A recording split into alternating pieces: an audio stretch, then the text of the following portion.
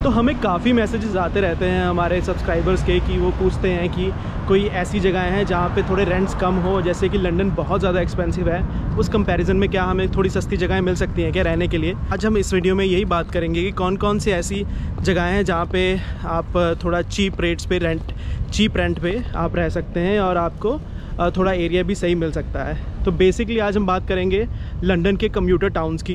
Basically commuter towns क्या होते हैं? जो एरिया लंदन के बिल्कुल पास हैं छोटे छोटे टाउन्स हैं, जहाँ से अगर आपको लंदन पहुँचना है तो आपको आप विद इन सिक्सटी मिनट्स के अंदर अंदर सेंटर लंदन में पहुँच सकते हैं। तो ये हैं कम्प्यूटर टाउन्स और बेसिकली इनके रेंट्स भी काफ़ी रीज़नेबल होते हैं कंपेयर टू लंडन तो चलिए वीडियो को शुरू करते हैं। आपको मैं बताता हूँ कौन कौन से हैं। Let's start the video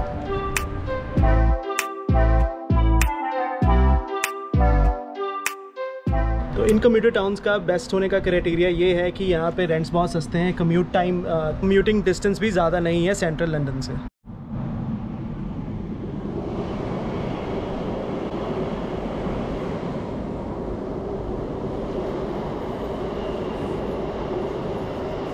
तो सबसे पहला जो टाउन है वो है कोलचेस्टर जिसके ईस्ट ऑफ़ लंदन में पड़ता है 60 माइल्स के आसपास और एसेक्स के बॉर्डर पे पड़ता है, जो कि एक अलग से काउंटी है। और वहाँ से लीवरपूल स्टेशन जो कि सेंट्रल लंदन का लीवरपूल स्टेशन है, उसमें टाइम लगता है 50 मिनट्स और वहाँ पे एवरेज मंथली रेंट आपको 800 पाउंड से 900 पाउंड में मिल जाएगा। तो बेसिकली बात वही है कि कम्यूट महँगा थोड़ा हो जाता है इन इन टाउन से, लेकिन वही है कि आजकल हर कोई पाँचों दिन तो जा नहीं रहा है। तो कुछ कम दिन जाना है, अगर एक या दो दिन जाना है तो आप कम्यूट टाउन्स को चूज़ कर सकते हैं और रेंट पे आप पैसे बचा सकते हैं। तो नेक्स्ट है रेड हिल जो कि रायगेट सरी के पास पड़ता है। वहाँ से सेंट्रल लंदन सिर्फ़ 20 माइल है और लगभग आपको वहाँ से अगर कम्यूट करें, आप लंदन ब्रिज तक 31 मिनट में पहुँच सकते हैं। और रेंट्स का वहाँ पे अराउंड आपको वन थाउज़ेंड फिफ्टी के आसपास, ग्यारह सौ पाउंड के आसपास आपको वहाँ पे अकोमोडेशन मिल सकता है। तो जो नेक्स्ट टाउन है वो है क्रॉली जो कि ससेक्स के हार्ट में पड़ता है। ससेक्स एक अलग से काउंटी है। लंदन के बिल्कुल साथ लगती हुई। तो ये लंदन और ब्राइटन के बिल्कुल बीच में पड़ता है। तो वीकेंड्स पे अगर आपको ब्राइटन घूमने जाना हो तो वो भी उस उस हिसाब से भी काफ़ी अच्छी लोकेशन है। ट्रॉली से लंदन, विक्टोरिया जो स्टेशन है लंदन का, उसमें लगते हैं 45 मिनट और वहाँ पे एवरेज मंथली रेंट वही थाउज़ेंड फिफ्टी या एलेवन हंड्रेड तक आपको मिल जाता है। जो नेक्स्ट टाउन है, वो है चैम्सफर्ड चैम्सफोर्ड एक काफ़ी अच्छा टाउन है, यहाँ पे काफ़ी शॉपिंग सेंटर्स वगैरह हैं, अपने शॉपिंग सेंटर्स के लिए काफ़ी फ़ेमस है ये.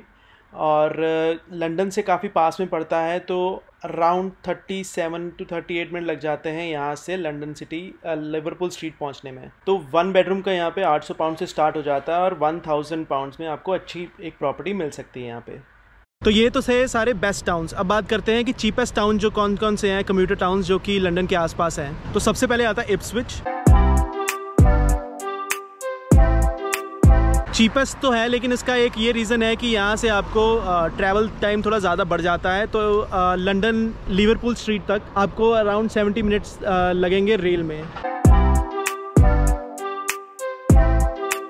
और जो एवरेज रेंट है इस जगह का, वो है 743 पाउंड्स तो रेंट पे आप काफ़ी पैसा बचा सकते हैं अगर आपको कम्यूट कम दिन के लिए करना है वीक्स में तो it's a good option next है साउथ हेम्पटन साउथ हेम्पटन आपको पता ही होगा, काफ़ी क्रिकेट मैचेस भी होते रहते हैं वहाँ पे और वहाँ से साउथ हेम्पटन एक अलग से सिटी है, काफ़ी बड़ी सिटी है वो लेकिन लंदन आने में वहाँ से आपको जो टाइम लगेगा, वो लगेगा अराउंड 80 मिनट्स और कम्यूट एक्सपेंसिव भी है वहाँ से बट वही है कि रेंट काफ़ी सस्ता है वहाँ पे। अराउंड 800 पाउंड्स के आसपास आपको वहाँ पे आप घर ले सकते हैं।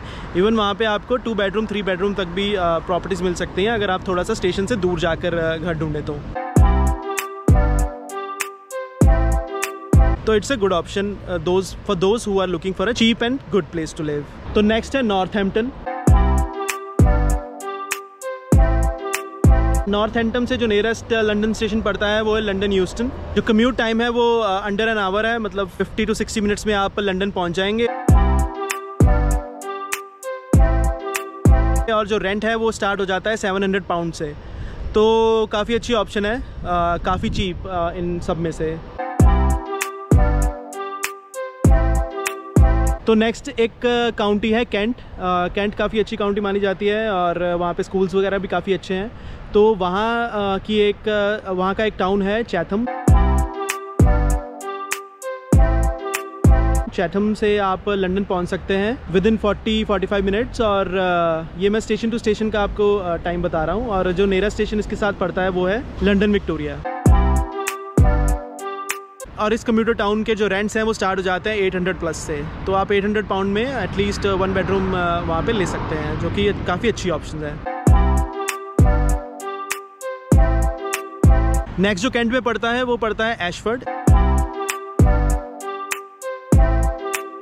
एशफर्ड से सेंट पैंक्रस इंटरनेशनल स्टेशन का जो टाइम है, वो है 38 मिनट्स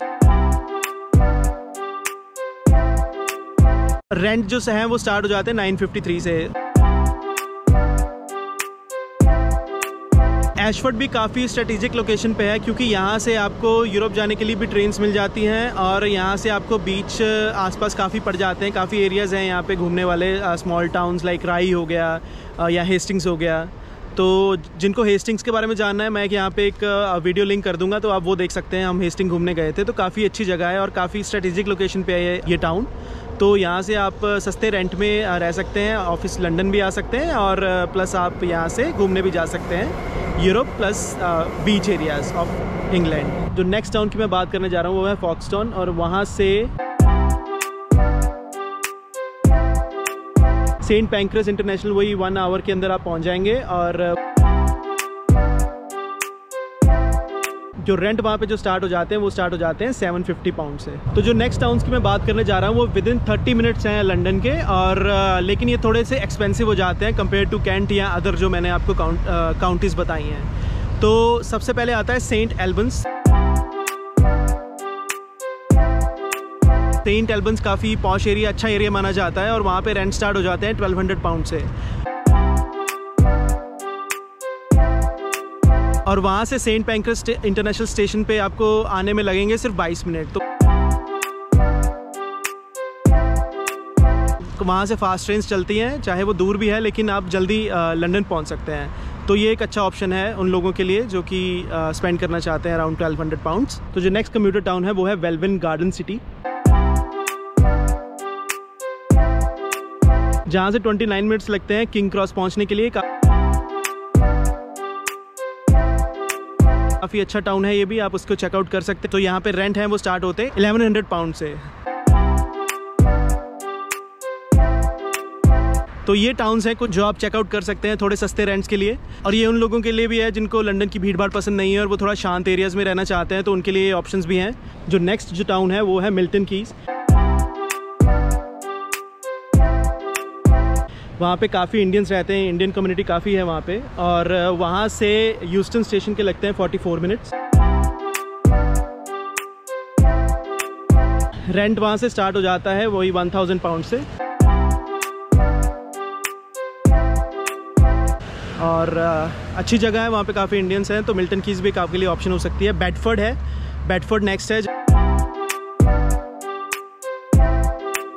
यहाँ पे वहाँ पे भी इंडियन कम्युनिटी अच्छी खासी है और 47 टू 50 मिनट्स में आप सेंट पैंक्रस स्टेशन पहुँच सकते हैं। है वो सेंट्रल लंदन में, लेकिन ऑफ़िस उससे थोड़े से दूर हैं तो उसके आगे भी आपको थोड़ा कम्यूट करना पड़ सकता है। तो ये चीज़ थोड़ी ध्यान में रखिएगा। जिनके भी ऑफ़िस लंदन ब्रिज के पास हैं तो उनको और भी कम्यूट करना पड़ सकता है, उसके आगे सेंट पेंक्रस स्टेशन के आगे। तो यही थे सारे आज के टाउन जो मैं आपको बताना चाहता था कि आपकी हेल्प हो सके इससे, और आप जो भी हमारे सब्सक्राइबर हमें मैसेज करते हैं कि आप थोड़े चीप एरियाज़ भी बताइए तो उनके लिए वीडियो थी। होपफुली आपको ये वीडियो अच्छी लगी हो हेल्पफुल लगी हो। तो आप इन टाउन्स को सर्च कर सकते हैं, अपनी रिसर्च कर सकते हैं, उन पर कौन सा एरिया कितने प्राइस में आपके लिए सही बैठेगा ट्रैवल टाइम कम्यूट कौन सा वाला आपके लिए सही बैठेगा।